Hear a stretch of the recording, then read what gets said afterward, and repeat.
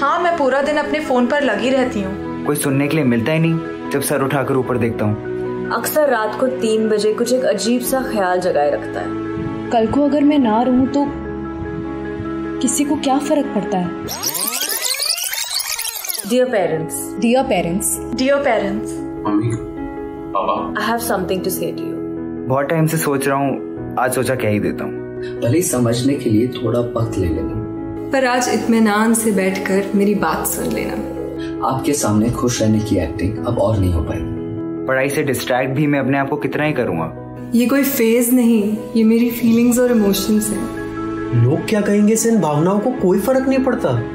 हाँ मैं पूरा दिन अपने फ़ोन पर लगी रहती हूँ। कोई सुनने के लिए मिलता ही नहीं जब सर उठाकर ऊपर देखता हूँ। अक्सर रात को तीन बजे कुछ एक अजीब सा ख्याल जगाए रखता है। कल को अगर मैं ना रहूँ तो किसी को क्या फ़र्क पड़ता है? ऐसे में गिनती के कुछ दोस्त है दो चार जिनसे मैं बात कर लेता हूँ। हमारी डांट में ही प्यार है तब नहीं सुनना चाहती। कभी कभी सोचता हूँ कि काश ये ओवर थिंकिंग रोक पाता। आप अगर एक बार सुन लेते तो आपके कंधे पे सर रख कर होगा चिट्ठी लिखूं या मैसेज करके फटाफट फैमिली ग्रुप छोड़ दूँ? असली बात बताओ या सब ठीक है कह के जाने दूँ?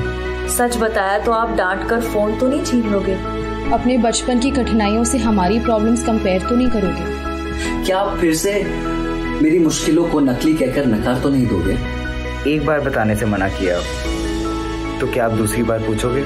जानती हूँ स्टार्टिंग में थोड़ा ऑकवर्ड तो ज़रूर लगेगा। इस जनरेशन की प्रॉब्लम्स समझने के लिए थोड़ा वक्त देना पड़ेगा। बचपन में आपको भी बात नहीं सिर्फ़ रिस्पेक्ट करना सिखाया था। दो आँसू बहाए तो दुनिया वीक बोलेगी बताया गया था।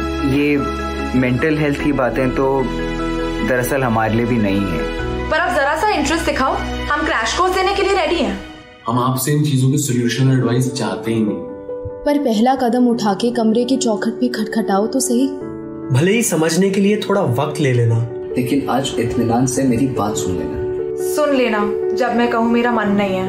और मत कहना मुझसे बेहतर तो मासी की बेटी है। सुन लेना जब किसी बेमतलब सी छोटी सी बात पे रो पड़ू। मत कहना कि मैं तो बहुत सेंसिटिव सुन लेना जब मैं कहूँ कुछ चीज़ें मुझे ट्रिगर करती हैं। और मत कहना कि इन सब के लिए अभी मेरी उम्र ही नहीं है। सुन लेना जब मैं कुछ डिसीजंस अपने लिए सेल्फिशली लेना चाहूँ। और मत कहना कि कभी आपके बारे में सोचती ही नहीं हूँ। दुनिया अपने आप में काफ़ी मुश्किलों से भरी। है और इस सब में आपकी सपोर्ट की कमी सबसे ज़्यादा चुभती है।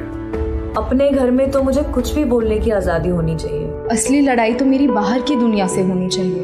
बहुत मुश्किल था आपसे आज ये सब कह पाना। पर ये सुनने के बाद एक बार आके हाल पूछ जाना।